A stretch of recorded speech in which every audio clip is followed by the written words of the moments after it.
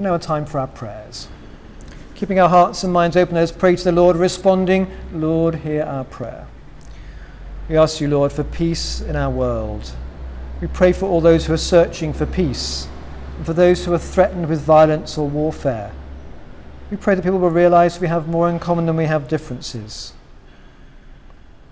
Let us pray to the Lord. Lord, hear our prayer.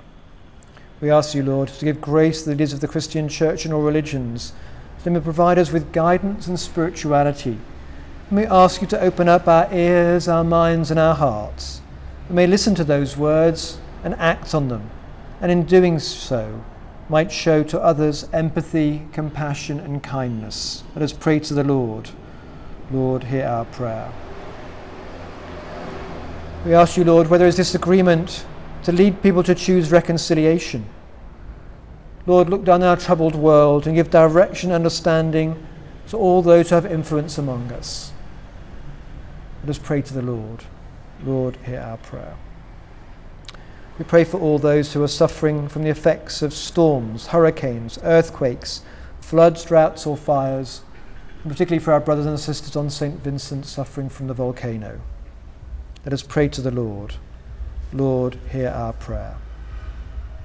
We ask you, Lord, to help ease the pain and distress of those in our community and all those known to us who are ill or are suffering, either from the effects of coronavirus or other illnesses, and all those who devote so much of their time to care for them.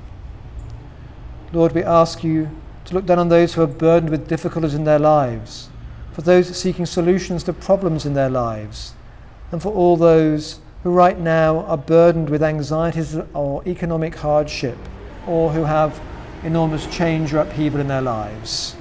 Let us pray to the Lord. Lord, hear our prayer. We ask you, Lord, to hold in your hands all those who have written departed and those lost loved ones have an anniversary or birthday at this time. May their souls rest in peace. Let us pray to the Lord. Lord, hear our prayer. Let us now take time to say in silence all the thoughts and prayers deep within our own hearts.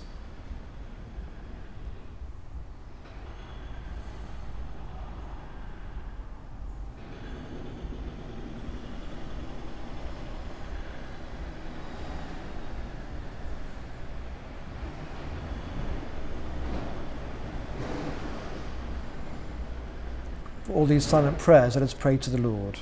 Lord, hear our prayer. If we say we have no sin, we deceive ourselves, and the truth is not in us.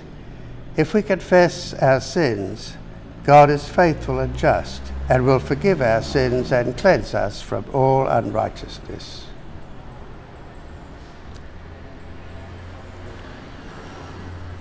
Let us therefore confess our sins.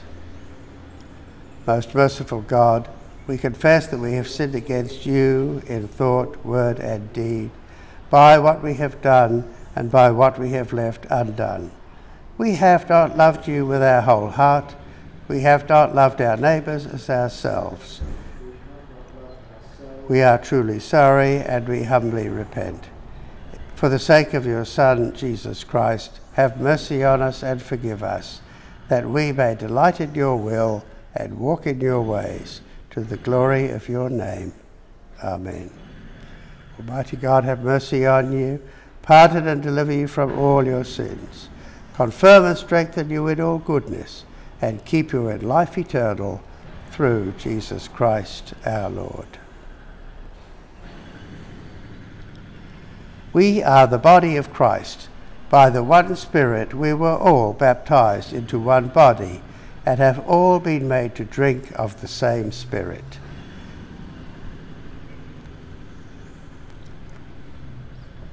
My sisters and brothers, the peace of the Lord be always with you. Also with you.